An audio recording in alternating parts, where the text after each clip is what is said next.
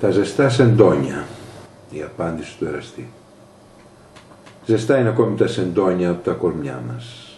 Και ο έρωτας της νύχτας δεν έχει φύγει ακόμα από το πετσί μας. Εσύ δεν είσαι πια εδώ. Ποτέ δεν μένεις. Δίνεσαι και φεύγεις. Αθόρυβα πάντα, αφήνοντας στο κοιμισμένο μου μάγουλο ένα φιλί. Αλλά η μυρωδιά του υδρότας σου μαζί με το αρωμά σου είναι ακόμα εδώ, στα μουσκεμένα σεντόνια μου. Γυρίζεις πάντα σπίτι σου το βράδυ μόνη. Να κοιμηθείς στο άδειο σου κρεβάτι. Και σε παρακαλάω να μείνεις μαζί μου για να ξυπνήσουμε αγκαλιά. Δεν έχει νόημα να στο ζητήσω. Το ξέρω.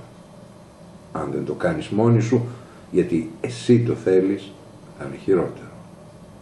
Ύστερα περνάει καιρός, πολύς, μέχρι να ξαναβρεθούμε. Έτσι ίδια πάλι ακόμα μια φορά για λίγο. Και εγώ εξακολουθώ να ελπίζω ότι όλα αυτά τα λίγο σιγά σιγά θα γίνουν πολύ. Και πως μια μέρα θα αφήσει τον εαυτό σου να αποκοιμηθεί στην αγκαλιά μου και εγώ θα σε ξυπνήσω το πρωί με ένα φιλί.